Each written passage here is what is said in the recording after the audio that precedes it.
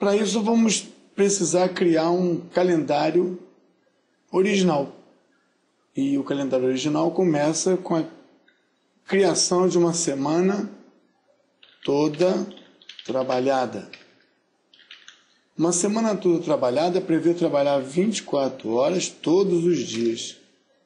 24, 24, sem interrupção para almoço ou qualquer outra parada, e inclusive sábado e domingo. Se o calendário tem uma semana toda trabalhada, então temos que ter um calendário que usa a semana toda trabalhada. Aqui é o calendário todo trabalhado. Esse calendário todo trabalhado, nas suas propriedades, nós vamos encontrar todo trabalhado, o código todo trabalhado. Ele não será o principal, vamos selecionar a semana como semana trabalhada toda. Não há exceções. E aqui é, digamos, calendário original, CPM. Se nós temos esse calendário original, eu posso aplicar aqui todo, todo ou aplicar aqui todo e botão direito propagar para baixo, de modo que todos sejam regidos por um calendário que não possui restrição de parada. Vamos lembrar que o agendamento agora, respeitando tudo que foi produzido, deve apresentar uma proposta de trabalho ininterrupta. Sem informações detalhadas, nós teremos alguma coisa assim. Com informações detalhadas, nós teremos a mesma coisa, porque nós não temos nenhuma interrupção no processo. Esse é o prazo mais curto para executar essa sequência, inclusive não tendo parada nenhuma.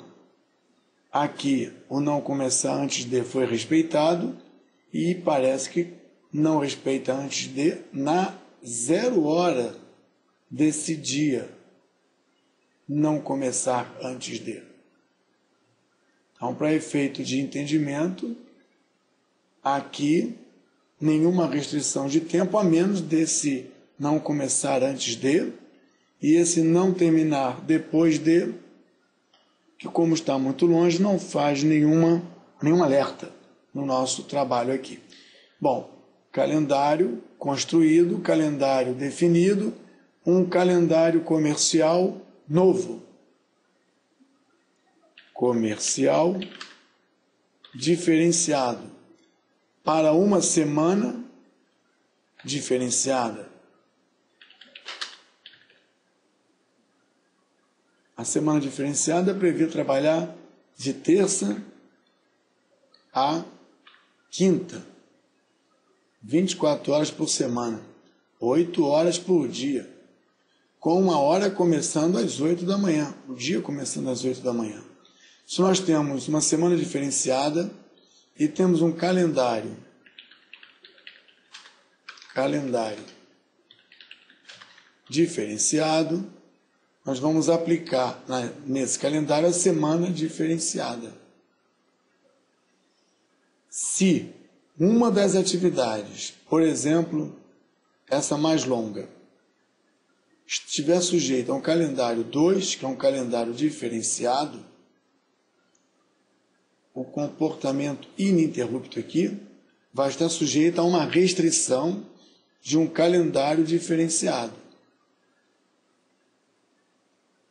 E interessante observar que, embora tenhamos o mesmo número de horas necessárias de produção, essas horas são restritas a serem trabalhadas em determinadas datas, períodos considerados úteis. Isso é uma restrição aplicada ao projeto e aqui nós temos um exemplo do uso do calendário, da montagem do calendário. As exceções Por exemplo, 19, 20 e 21, exceções. Exceção nova. O princípio da exceção nova, semana parada. Princípio da exceção é, é algo interessante de a gente observar, porque ela, a exceção funciona em cima de uma semana, de uma condição sobre a aplicação. Então, a semana parada acontece a cada mês, ano, vamos deixar onde o início vai ser no dia 19 de março e o término é no dia, a exceção, 25 de março. Então, do dia, do dia 19 às 0 hora até o dia 26 às 0 horas, define o intervalo de uma semana. A 0 hora do dia 26 começa a outra semana, segunda a domingo aqui no nosso exemplo é aplicado ao calendário que nós vamos escolher. Então, eu vou fazer uma cópia do calendário todo dia.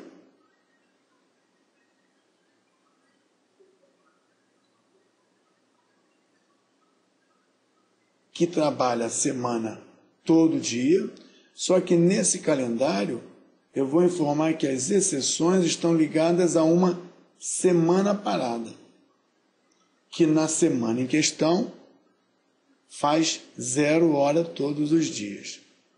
Como seria o comportamento disso? Todo dia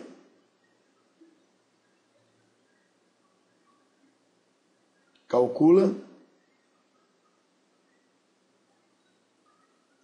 esse acontece na semana parada, ou esse ou esse.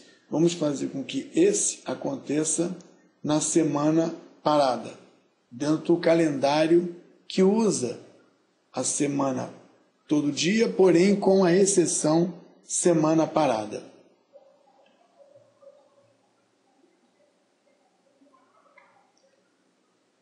Semana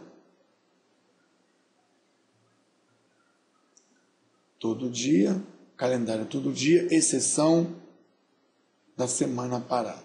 Calculando, nós encontramos que a atividade que acontece